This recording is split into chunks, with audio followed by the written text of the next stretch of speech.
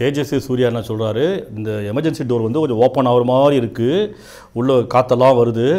அதனால் கொஞ்சம் குளிருதுன்ற மாதிரி அவர் சொல்லியிருக்கிறாரு குளிர்தெல்லாம் சொல்லி ஃப்ளைட்டு போனால் காற்று ஸ்பீடாக வரும் அது மறை சற்று கலண்டது போல தெரிகிறது என்று சொல்லியிருக்கிறார். சொல்லியிருக்கிறார் அவர்கள் அதை பரிசோதித்து பார்த்த பொழுது அதில் சற்று பழுது இருப்பதை கண்டறிந்தார்கள். அப்போது விமானத்துறை செயலிழந்திருக்கு விமானத்துறை அமைச்சர் வேஸ்ட்டு.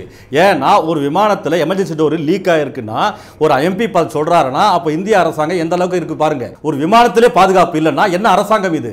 தினந்தோறும் எத்தனை விமானங்கள் செல்கின்றன? என்ன பஸ்ஸா இது? பஸ்ஸை காட்டிலும் கூடுதலாக விமானங்கள் செல்கின்றன. காவி துணி போட்டவங்க போய் சொல்ல மாட்டாங்க. நீங்க போய் சொல்றீங்க. தெரிஞ்சிடும் இப்போ. நீங்க ஊடகவியலாளர் அதனால நீங்க எதையாவது சொல்லி உண்மையை வர வைக்க உங்களோட நோக்கம் நியாயமானது. நான் நினைக்கிறேன் நீங்கள் அந்த ஃப்ளைட்டில் இருந்தீங்களோ? நான் அந்த ஃப்ளைட்டில் கிடையாது. ரைட் ஓகே இதில் வந்து இது மாதிரியான பழுது ஏற்படுகின்ற பொழுது எனக்கு புரிஞ்சிச்சு. ஒரு முந்நூறு பயணிகள் விமானத்தில் இருப்பாங்க.